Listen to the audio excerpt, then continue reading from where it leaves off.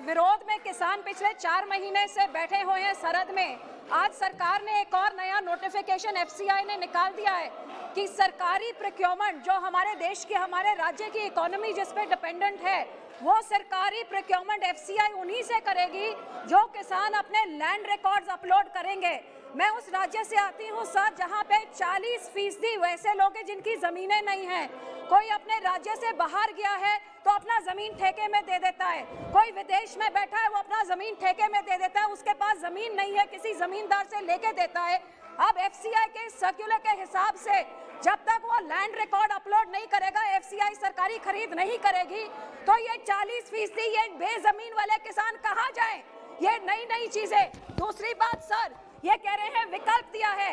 हमारे स्टेट का APMC act clearly 2003-13 से किसान को ये राइट देता है कि वो कमीशन एजेंट के थ्रू बेचे या डायरेक्ट भेजे ये कहते हैं एफसीआई एक्ट में ये कोई संशोधन नहीं करेंगे।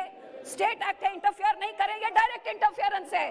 फेडरल स्ट्रक्चर के हर एक चीज़ में इंटरफेयर करके जो अच्छा खासा चल रहा है उसको तोड़ने के काम कर रहे हैं। क्यों कर रहे हैं? अध्यक्ष जी मेरी बहन अभी तक तो मंत्रिमंडल में ये सब विषयों को स्वीकार करके और एक पारदर्शी तरीके से देश में काम हो, देश में प्रक्योरमेंट हो, उसके लिए बहुत उत्तेजना के साथ काम करा करती थी। मुझे समझ नहीं आ रहा है कि आज वो कैसे भूल गई हैं कि इस देश की प्रतिबद्धता है, इस देश की जनता की संकल्प है कि इस देश में पारदर्शी व्यवस्थाएँ हो, इस देश में गलत कामों को रोका जाए और उसी के तहत पूरे देश में। आज एफसीआई की प्रोक्योरमेंट बहुत अच्छी तरीके से चल रही है। देश भर के किसान अपनी मूल, अपनी उपज का मूल सीधा सरकार से लेते हैं डिजिटली लेते हैं। लेकिन मात्र एक राज्य है, एक राज्य है जहाँ पे वो कहते हैं कि नहीं, हम किसान को पूरी मूल नहीं देंगे। हम किसान के खाते में पैसा नहीं डालेंगे।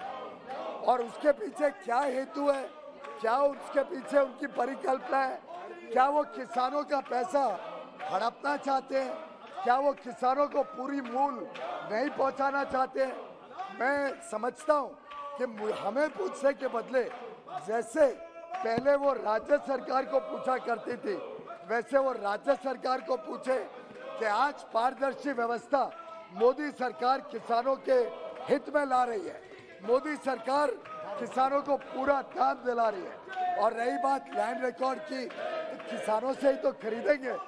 जिसकी भी लैंड है लैंड रिकॉर्ड अपडेट करे। अपडेट कर दे कि मैंने इसको किराए पे दिया हुआ है। तो खरीदने में तो कोई हमने मना नहीं किया। लेकिन लैंड रिकॉर्ड नहीं अपडेट करना। लैंड में कितना उपज हुआ है। आखिर ज़मीन का एक उपज तो पता चलेगा। ऐसा तो नहीं हो सकता कि दो एकड़ ज़मीन पे कितना भी आ, अनाज उग सके उग सके।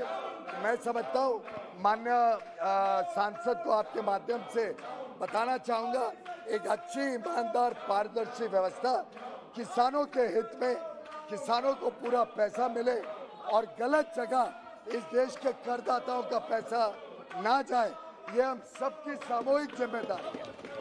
Question number 202 Sunita Duggal ji question number 202 मान्य मंत्री